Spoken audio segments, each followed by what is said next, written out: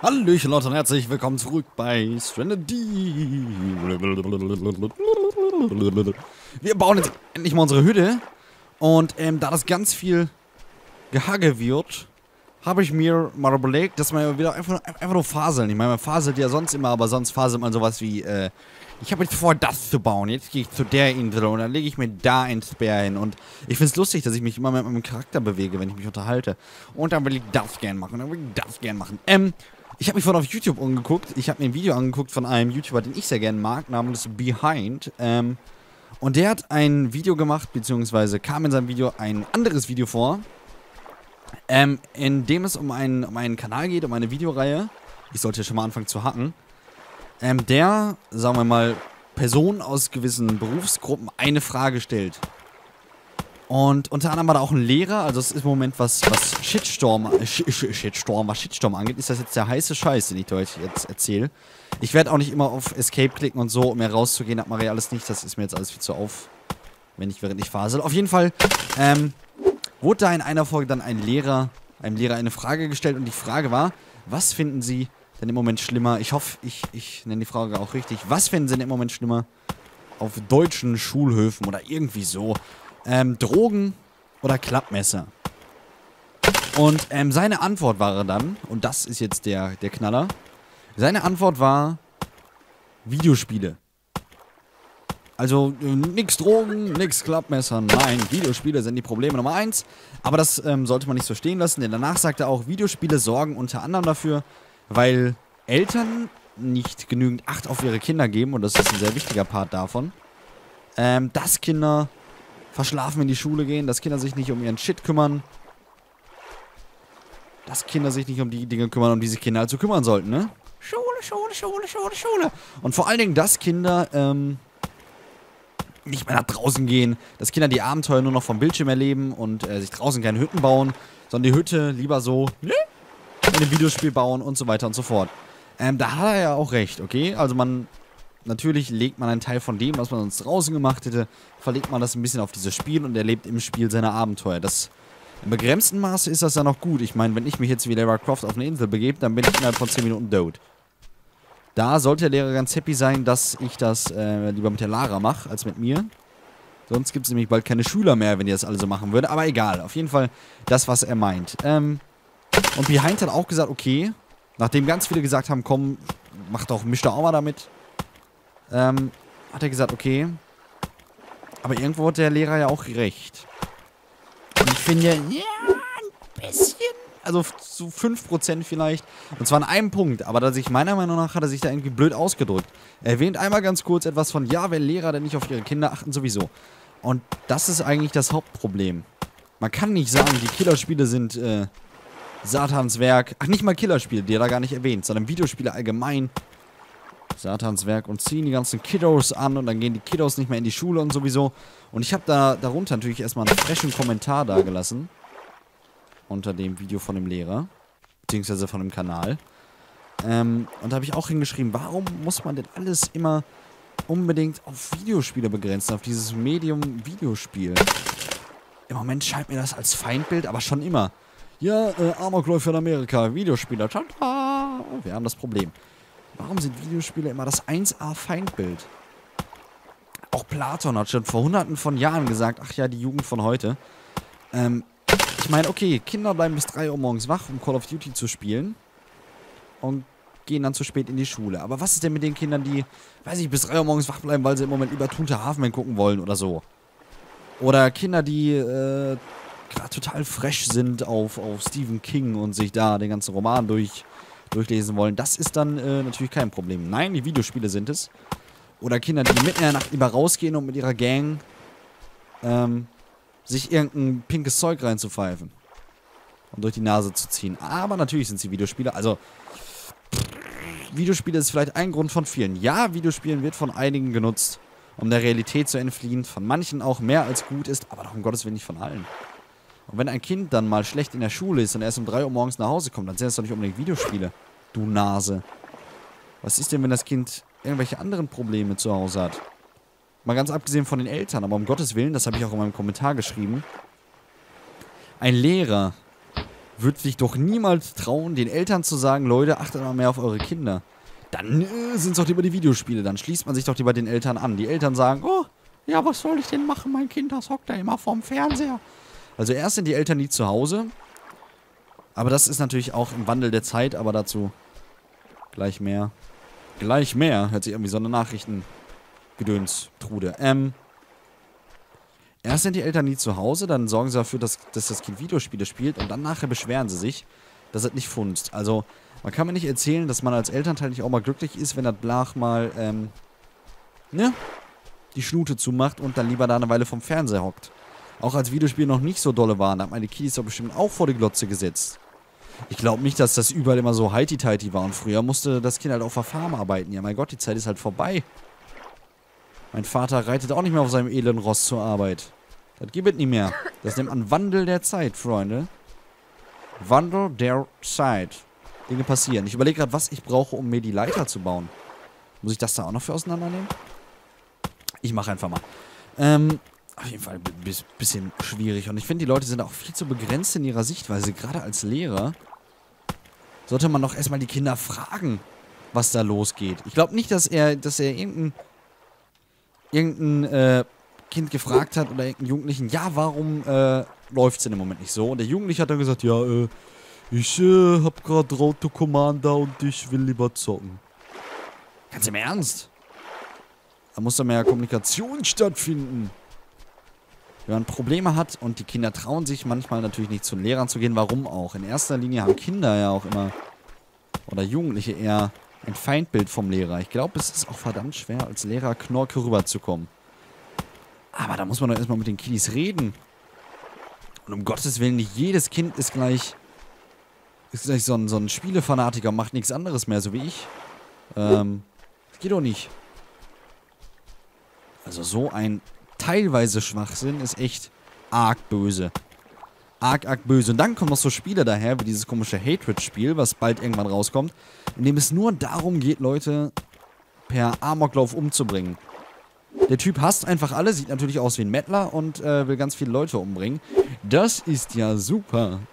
Dankeschön, liebes äh, komisches Team aus, ich weiß nicht, wer es kam, Polen, Österreich, Deutschland, dass ihr Leuten wie diesem Lehrer noch mehr Material bietet. Obwohl der Lehrer hat jetzt eigentlich gar nichts von Killerspielen gesagt, sondern von Videospielen allgemein.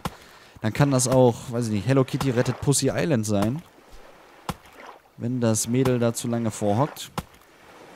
Dann ist das nicht gut. Ich weiß nicht, ob man, ob man ihm als er jünger war oder generell eingebläut hat. Oh Gott. Ach shit, ich kann gar nicht so viel auf einem Platz liegen haben. Sonst macht das immer Stress. Ob man ihm als er kleiner war irgendwie eingebläut hat, dass das nicht gut ist mit den Videospielen und deswegen muss er das jetzt alles wiedergeben. Also das Wichtigste ist, dass man sich immer eine eigene Meinung bilden sollte. Und deswegen finde ich auch eher teilweise recht, in der Nummer auf jeden Fall, dass Eltern unbedingt mehr Acht drauf geben sollten. Da gibt es ja im Moment auch das Problem, dass ähm, YouTuber vielleicht gar keine Videospiele mehr auf YouTube hochladen können, die ab 16 oder ab 18 sind. Weil da dann der Jugendschutz mitmacht und ähm, YouTube keine Abfrage hat. Der Alterseinstufung. Und dann hockst du da und kannst deine Videos nicht mehr hochladen, weil dann der Jugendschutz gesagt. Und so Kanäle, die darauf basieren, Spiele ab 18 oder ab 16 zu spielen, wir spielen ja auch manchmal Spiele ab 18 oder 16, die sind dann weg. Leute, die damit ihr Geld verdienen, kannst du vergessen. Und YouTube wird das nicht ändern. Warum? Deutschland sind ja die einzigen, die da wirklich so hart vorgehen. Und extra für Deutschland, ich glaube, da wird sich YouTube nicht so einen Arsch aufreißen, damit das funzt. Was haben wir denn da? Roof. Ich hätte ganz gern eigentlich mal eine, eine Leiter. Hm.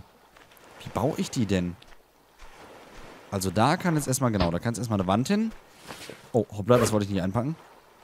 Also es ist ein sehr, sehr, sehr, sehr, sehr schwieriges Thema. Und ich habe auch schon überlegt, was wohl auf YouTube los sein soll, wenn dieses Spiel rauskommt.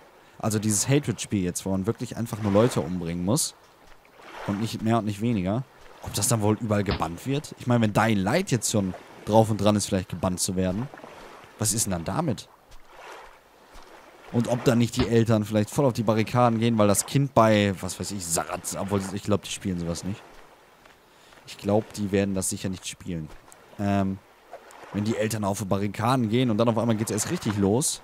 Ich glaube, das wird noch lustig. Das wird noch richtig funny. Und ich glaube auch, dass nicht wenig YouTuber sich dieses Spiel holen werden, allein weil sie wissen, oh ja, das zieht die Kinders ganz bestimmt an. Und ich habe schon gesagt, ich glaube nicht, dass es mir bei diesem Spiel, dass es mir mit diesem Spiel gut gehen würde, nach dem, was ich da bis jetzt gesehen habe. Ihr könnt es euch ja mal angucken, es gibt schon Trailer. Hatred heißt das. Es wurde sogar mal äh, bei Steam für einen kurzen Moment gebannt, weil es wirklich ähm, ziemlich viele Leute anstößig fanden. Und dann kam es aber wieder zurück zu Steam und der Macher hat gesagt, es tut mir leid, äh, Steam ist nicht so für Zensur, das Spiel ist wieder da, tüdelidü, und jetzt gibt es das Spiel doch wieder da zu kaufen, bald. Ähm, also das wird noch lustig. Das wird noch eine höllische Party geben. Und ich frage mich, wie ich gleich da hochkommen soll ohne meine Leiter. Wall. Ich glaube, ich hätte auch ganz gerne mal ein Fenster. Ist mir sonst ein bisschen sehr düster da drin. Na komm. Komm schon. Da. Ähm, was ist eigentlich mal mit... Oh, brauche ich noch irgendwas? Ach, warte mal, das da muss, gleich, muss ich glaube ich auch noch, auch noch kaputt machen. Also das wird Hell of a Ride.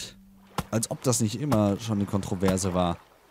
Dass Videospieler Amokläufe verursachen. Und allein um da nochmal richtig schön in der Wunde im Eiter rumzuquetschen. Müssen die jetzt dieses komische Spiel rausbringen, in dem man nur Leutchen umbringen muss? Einfach weil es ja toll ist, Leute umzubringen, nicht wahr? Nee, da baue ich mir lieber mein Strandhaus oder erlebe gut gezählte, gut gezählte, gut erzählte Geschichten zusammen mit der heißen Lara. Obwohl bei zu viel Sex, da gehen die, gehen die äh, Amerikaner ja auch an die Decke. Mit Gewalt haben die eigentlich gar nicht so ein Problem, ne? Ich glaube, die Amis, die mögen Sex noch nicht so. Also, natürlich mögen sie Sex, ich meine. Why not? Aber ich meine jetzt äh, Sex auf der Leinwand. Denn keiner darf sehen, was die Menschen zu Hause in ihren Betten tun. Warum kann ich das nicht da... Ist das, ist das, das, ist das ein Ernstspiel? Warum nicht? Warum kann... Hä? Ich soll jetzt hier draußen schlafen, obwohl ich da drin ein Bett hab. Na, tolle Wurst. Warum, warum das denn? Ich baue das Ding erstmal zu Ende. Vielleicht kommt das ja noch. Blöp. Vielleicht kommt... Hoppla, vielleicht kommt das ja noch. Vielleicht kann ich das ja gleich drin bauen. Oder ihr wisst, wie es geht. Ich mache vorher noch nichts. Ich warte noch. Und ich brauche sowieso noch ein paar von diesen Yucca-Dingern. Also muss ich noch einmal ganz kurz losziehen. Boah, liegt da viel Shit rum. Brauche ich vielleicht einen Stein, um mir eine Leiter zu machen. Good Bad? Nein, okay. Aber da liegen noch ganz viele von diesen Yucca-Dingern rum. Und das wächst wohl auch wieder nach, so wie es aussieht. Hier haben wir es nämlich gerade auch erst abgeholt. Hm, da ist noch mehr. Ich nehme das mal alles mit. Aber was brauche ich dann für eine Leiter?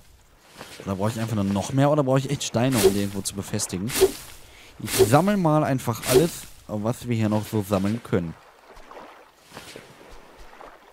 Und dann gucke ich, wie es funktioniert. Stein, du kommst auch mit. Oh, ach, ich dachte schon, ich dachte schon, da, da liegt irgendwas. Sieht ja kurz aus wie Wally. Von Weitem sieht es aus wie, also nicht wie der Ball Wally, sondern wie der Roboter Wally. Wisst ihr, der, der den ganzen Müll wegräumt und so? Der nebenbei gesagt bis zur Hälfte echt ein guter Film war. Und dann, als die dicken Menschen kamen, wurde es ein bisschen schlechter. Schade eigentlich. Warum hustet der Mann oder die Frau denn die ganze Zeit? So, was haben wir denn da? Hä? Ach so. Vielleicht brauche ich da... Ach, das habe ich vorhin aber auch schon probiert, ne? Support Wall Foundation Roof. Hm. Ich raff's nicht ganz, was mir hier fehlt. So. Wir brauchen noch einen Foundation in der Mitte. Glaube ich, damit das auch klappt. Oder? Ja, ne? Wir werden noch eins... Ne, sogar noch mehrere brauchen, damit wir dann nachher das Dach draufsetzen können. Ähm, das reicht so. Und dann noch eine Wand. Auch wenn wir dann leider nicht rausgucken können. Na toll, die Wand geht nicht. Geht da vielleicht die Wand? Nein, die Wand geht auch nicht. Komm, Sticks. Rück mal ein bisschen näher zusammen. Wall. Wir werden sowieso noch einmal los müssen. Obwohl ich jetzt einmal noch ganz gern gucken würde, wie denn so eine... Wie es denn läuft mit dem Dach. Support von der... Ja, toll. Jetzt haben wir nicht mehr genug. Jetzt haben wir nicht mehr genug, oder was? Alles dahin. Aber ich habe auch noch diese Sachen hier. Plöpp, plöpp, plöpp. Plöpp und... Plöpp, plöpp, plöpp. Viel Baumaterial gibt es ja gar nicht mehr, was man benutzen kann, ne? Wall, Foundations, der... Huh, hulalala. Man braucht einfach nur verdammt viele Ropes. Tada! Jetzt muss ich ja nicht immer hochhüpfen. So, jetzt haben wir das natürlich alles weggeworfen. Aber da oben liegen noch ein paar. Ich glaube, das wird nicht mehr fertig, die Hütte. Ich glaube, das wird... Mit Na, kommst du wohl her. Hm? Warum muss ich dieses Spiel jetzt etwa bis 3 Uhr morgens spielen, damit ich nicht mehr rechtzeitig in die Schule gehen kann? Was willst du machen? Spiele sind halt mitreißend. Spiele sind das ist aber der mitreißendste Medium überhaupt. Es ist einfach so, es ist so interaktiv. Ein Buch, das musst du lesen und hörst was über einen anderen Charakter. Im Fernsehen genauso, aber du bist eben nur der Zuschauer. Hier bist du der Creator, der Macher. Das ist doch genial. Ich meine, wer, wer wird das nicht machen? Der ist doch nur eifersüchtig, der Typ. Nur Eifersucht. Reine Eifersucht. Ähm, warum kann ich eigentlich gerade gar keinen Deckel mehr bauen für unser Häuschen? Ich habe da genug Lashings. Ich habe da... Ach, das fehlt noch. Natürlich, natürlich, natürlich. Dich brauchen wir noch. Haben wir schon alle Bäume eingesammelt von dieser Insel? Jetzt benutze ich einmal ganz kurz den Trick. So, da liegt es alles. Aber es reicht ja... Achso. Ach, guck mal, die... Guck mal, interessant. Das Bett kann ich bauen ohne den Hammer. Foundation Roof Steps. So. Tada. Das sieht nur dezent hässlich aus. Sticks. Das waren Steps. Okay. Damit hätten wir das erstmal. Das ist das erste Mal, dass wir wirklich nicht weitermachen können. Nicht wegen den... Nicht wegen den Sticks, sondern weil uns die Bäume fehlen. Beziehungsweise die Blätter fehlen uns. Und damit wir da dran kommen, müssen wir auf eine Reise gehen, Leute. Aber Reisen gefallen uns ja sowieso ein bisschen mehr, als nur hier rumzubauen. Mir persönlich jedenfalls. Weil man dann immer wieder Chancen hat, Volley zu finden. Geheimnisse. Was ist denn los hier? Oh, oh, scheiße. Ähm, Wasser, Wasser, Wasser, Wasser, Wasser, Wasser, Wasser, Wasser. Her damit. Gib mir die Wasser. So. Wie sieht's aus? Oh, das mit dem Wasser geht aber immer fix, ne? Und noch schnell was mampfen. Das können wir noch eben mit unserer Machete in dieser Folge machen. Dann mache ich auch schon eine kleine Aufnahmepause. Es ist ein schweres Thema. Eigentlich, eigentlich schon fast so schwer. Also im, im Philosophiestudium lernt man... Oh, Sonne. Im Philosophiestudium lernt man ähm, verschiedene Arten von Philosophen. Und es gibt eben auch die Skeptiker und die richtigen Hardcore-Skeptiker. Die würden zu einer Diskussion einfach sagen, nö, da diskutiere ich gar nicht erst äh, weiter. Weil sowieso, man, man, man, kann sowieso an nichts glauben. Es gibt keine Beweise, es gibt kein Nichts, es gibt kein gar nichts. Ähm, also, was ist es da noch wert, dass man drüber redet? Ich weiß nicht, warum ich jetzt so abgeschweift bin. Das ergibt doch überhaupt gar keinen Sinn mit diesem Thema. Egal. Ähm, und ich finde, es ist ein so schwieriges Thema. Besonders, wenn Menschen teilweise recht haben. Aber das Wichtigste ist eben, ähm, dass man nicht nur reine, reine Meinung übernimmt, sondern dass man immer versucht, sich seine eigene Meinung darzustellen. Ich habe dieses, äh, seine eigene Meinung zu bilden. Ich habe dieses Video ja auch auf YouTube gesehen. Ähm, beziehungsweise einen Bericht darüber. Und da hat jemand seine Meinung dargestellt. Dann habe ich mir das Video nochmal angeguckt und habe mir dann selber nochmal eine Meinung gemacht. Und ich finde, der Typ hat zwar recht, aber der Typ drückt sich einfach verdammt dämlich aus. Denn so wie er da dargestellt ist, vielleicht hat er es auch gar nicht so gesagt. Wer weiß, vielleicht hat er noch viel mehr gesagt und das wird rausgeschnitten. Keine Ahnung. Aber so wie er sich ausdrückt, kommt er einfach nur rüber wie jemand, der ein bisschen ignorant ist. Wie jemand, der sich nicht sonderlich mit dem Medium beschäftigt hat. Wie jemand, der versucht, ein eine einfache Antwort auf eine verdammt schwierige Frage zu finden. Und dem die einfachste Antwort im Moment erschien, Videospiele. Klappmesser, Drogen, bekiffte Kinder, Gewalt, scheißegal, Videospiele. Videospiele ist, ist größeres Problem als, als, als, äh, all der Rest. Also was Schwachsinniges. Irgendwo, ich fand sogar in dem Moment, auch wenn andere sagen, das wäre jetzt überzogen, ich fand seine Antwort hat die Frage ein bisschen ins Lächerliche gezogen. Wenn dich jemand fragt, was findest du denn schlimmer momentan ähm, an der Situation an Schulen, dass so viele Kinder Waffen mitbringen oder dass viele Kinder einen, äh, unter einem besonders gro großen Drogeneinfluss stehen und er sagt dann, nein, das ist nicht schlimm. Ich finde Videospiele viel schlimmer. Bei Videospielen, da sitzt du zu Hause vor deinem Bildschirm alleine, was vielleicht nicht der sozialste Umgang ist, obwohl das auch wieder eine andere Sache ist, weil auch Videospiele können sehr sozial sein. Da sitzt du zu Hause allein vor deinem Bildschirm, löst Rätsel. Du kannst auch Leute abknallen. Ähm, liest Geschichten, erlebst Geschichten. Läufst durch die Gegend, entdeckst neue Welten, baust dir was. Aber wenn du mit einem Klappmesser in die Schule gehst, ich glaube, dann hast du äh, nicht nur vor, was zu bauen. Ich habe hier ein Klappmesser, um Kokosnüsse auseinanderzubauen. Der Junge, der ein Klappmesser mit in die Schule nimmt, äh, der will dich auseinanderbauen. Also, das ist nochmal was anderes. Und damit zieht er doch diese ganze Frage ein bisschen ins Lächerliche. Also, das fand ich schon ein bisschen doof. Und das dann von einem Lehrer, von dem man eigentlich denken müsste, okay, so ein Mensch steht jetzt vor den Kindern und will den Kindern jetzt die Welt erklären. Und dann kommt er mit so einem Shit daher. Und die Eltern, die sich das angucken, von denen viele gar keine Ahnung haben von diesem Medium. Also es gibt natürlich Eltern, die sind da total dufte drin. Äh, die spielen auch Videospiele. Mein Onkel hat zum Beispiel Bioshock gespielt, was ich echt cool fand. Ähm, aber der fand auch die Geschichte cool. Hat es deswegen gespielt. Aber manche Eltern, die denken eben auch, okay, Videospiel, neues Medium, äh, da halten wir uns lieber mal von fern. Und äh, das ist böse. Wie es offensichtlich auch verdammt viele Eltern in Amerika machen. Dass sie da Waffen äh, zu Hause im Wandschrank haben, nö, das ist ja normal. Da können wir nichts gegen tun. Aber die Videospiele, ha, die verbannen wir jetzt. Die müssen weg. Also, naja, schwierig, schwierig, schwierig. Ich glaube, ich muss jetzt sowieso eine Aufnahmepause machen, weil die Folge schon wieder 21 Minuten äh, lang ist. Deswegen gucke ich jetzt, nein, ich gucke jetzt auf diese Box und sage, because why not? Because why not auf die Box gucken und sage bis dann und zur nächsten Folge, wenn wir ein bisschen weniger faseln und uns wieder auf den Weg machen auf eine abenteuerliche Reise. Bis dennchen.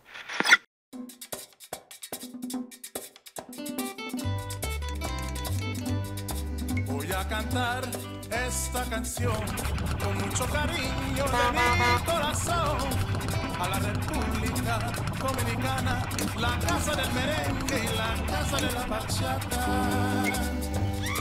Voy a cantar esta canción con mucho cariño de mi corazón a la República Dominicana, la casa del merengue la casa de la bachata.